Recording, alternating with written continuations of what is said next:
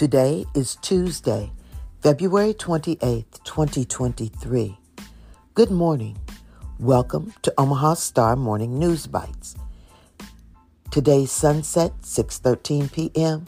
The high temperature today is expected to be 46 degrees.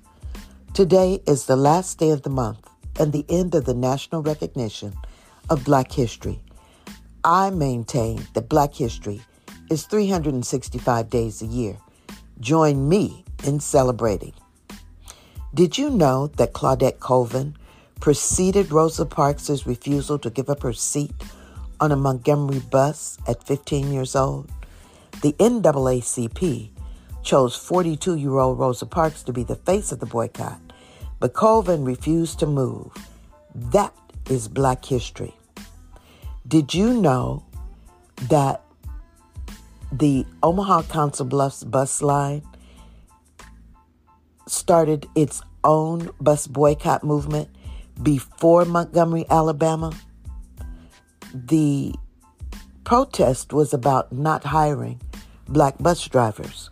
So the people of Omaha and Council Bluffs were encouraged to not ride the bus, but if you did have to ride the bus, you paid your bus fare in pennies.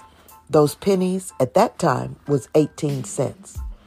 And the bus drivers at the end of their route always had to count their own fares.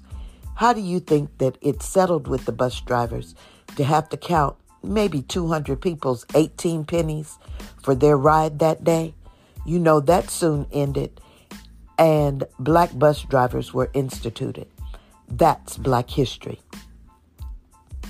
Today is National Tooth Fairy Day. Does your little one have a tooth fairy pillow? Somewhere to put that tooth and wait for the cash to roll in. It is also National Floral Design Day. Send a bouquet of posies to someone today.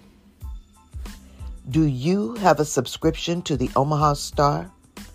The Omaha Star newspaper is published every Friday. The Omaha Star is where you are on social media.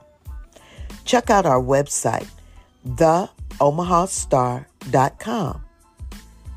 Omaha Star Morning News Bytes is on Spotify and Apple Podcast. Remember, a subscription to the Omaha Star is an investment, not an expense.